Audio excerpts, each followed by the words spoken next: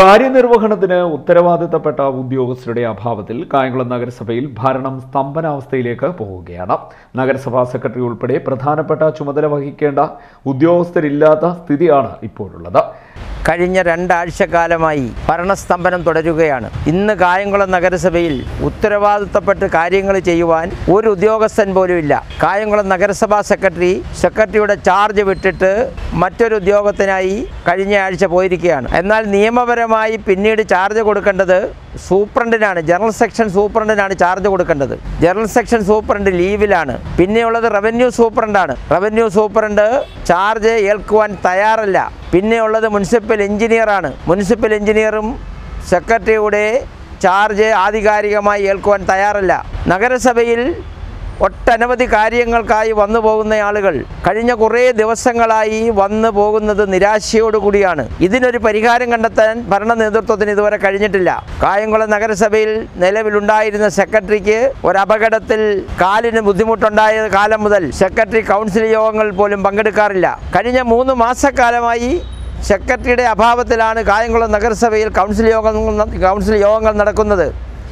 ഈ യോഗങ്ങളിൽ ഉന്നയിക്കപ്പെടുന്ന ക്രമപ്രശ്നങ്ങൾക്കോ പരാതികൾക്കോ ഒരു മറുപടി പോലും പറയുവാൻ ചെയർപേഴ്സണെ സഹായിക്കുവാൻ ചെയർപേഴ്സന് വേണ്ടി ചെയർപേഴ്സന്റെ അനുവാദത്തോടു കൂടി നിയമപരമായി കാര്യങ്ങൾ പറയുവാൻ ഒരു ഉദ്യോഗസ്ഥനും കൗൺസിലെത്തുന്നില്ല കൗൺസിലിനെ നോക്കുകുത്തിയാക്കിക്കൊണ്ടാണ് ഭരണ നേതൃത്വം മുന്നോട്ട് പോകുന്നത്. ഇത് ഈ പട്ടണത്തിലെ ജനങ്ങളോടുള്ള വെല്ലുവിളിയാണ്. പഞ്ചായത്ത് വകുപ്പിൽ നിന്നും ഡെപ്യൂട്ടേഷനിൽ നഗരസഭയിൽ ചാർജ് എടുത്ത ധീരജ് മാത്യു ആയിരുന്നു നഗരസഭാ സെക്രട്ടറി. ഇവിടെ ജോലി നോക്കവേ അപകടത്തെ തുടർന്ന് ഏറെ നാളായി. അദ്ദേഹം വിശ്രമത്തിലായിരുന്നു. നഗരസഭാ കൗൺസിലിൽ പങ്കെടുക്കാൻ കഴിയാത്ത അവസ്ഥയിലുമായിരുന്നു. ഇപ്പോൾ പഞ്ചായത്ത് വകുപ്പിലേക്ക് തന്നെ അദ്ദേഹം തിരികെ പോകുന്നതിനായി റിലീഫ് വാങ്ങിയിരിക്കുകയാണ്. സെക്രട്ടറി ഇല്ലാത്തതിനാൽ അടുത്തതായി ചാർജ് നൽകേണ്ടത് ജനറൽ വിഭാഗത്തിലെ സൂപ്രണ്ടിനാണ്.